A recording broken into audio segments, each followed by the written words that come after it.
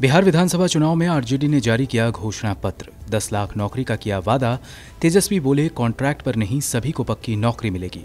सरकारी नौकरी में बिहारियों के लिए पिचासी फ़ीसदी सीट आरक्षित होगी। एलजेपी अध्यक्ष चिराग पासवान ने नीतीश कुमार पर लगाया बड़ा आरोप। बोले, शराबबंदी के नाम पर बिहारियों को बना रहे तस्कर।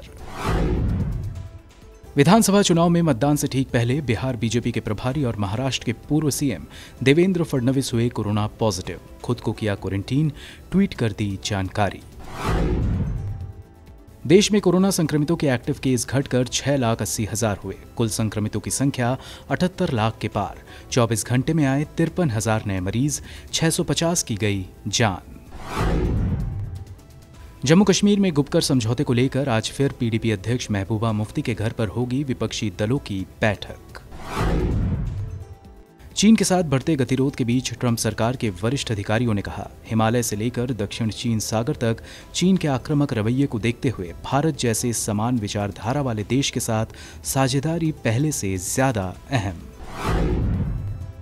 दिल्ली और राष्ट्रीय राजधानी क्षेत्र में प्रदूषण से स्थिति बेहद खराब, हर तरफ़ स्मॉग की चादर। कई इलाकों में वायु गुणवत्ता सूचकांक यानी एक्यूआई 400 के पार। अगले दो दिनों तक सुधार की कोई उम्मीद नहीं। रिपब्लिक टीवी के चार पत्रकारों के खिलाफ मुंबई पुलिस ने दर्ज कराई एफआईआर। पुलिस बल को बदनाम करने का आरोप। चैनल के खिलाफ हो रही टीआरपी सिस्टम में घोटाले की जाँच। रिपब्लिक ने बताया मीडिया पर हमला। और आईपीएल में आज खेले जाएँगे दो मैच। पहला मुकाबला कोलकाता नाइट राइडर्स और दिल्ली कैपिटल्स तो दूसरा मुकाबला किंग्स इलेवन पंजाब और सनराइजर्स हैदराबाद के बीच होगी भिड़ंत।